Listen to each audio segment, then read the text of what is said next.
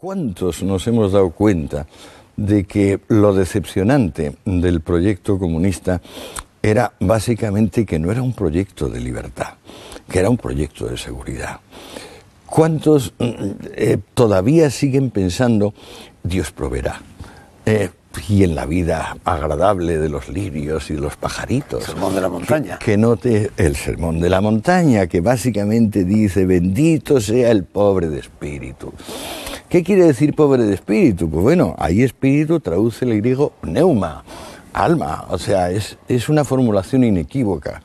Quiere decir algo así como que nadie me quite mi rencor.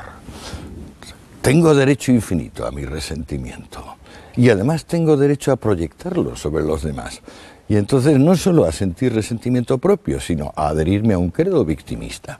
No se quiere entender en la profundidad del entramado histórico el hecho de que no somos alfombras vulgares, somos alfombras persas, de triple nudo y además hechas de seda.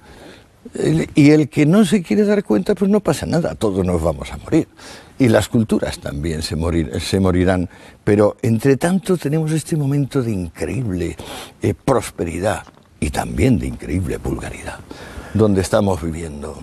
El rojo sigue pensando que es que, ah, bueno, si le quitamos al rico lo suyo y lo repartimos entre los pobres, entonces podemos vivir todos prósperamente.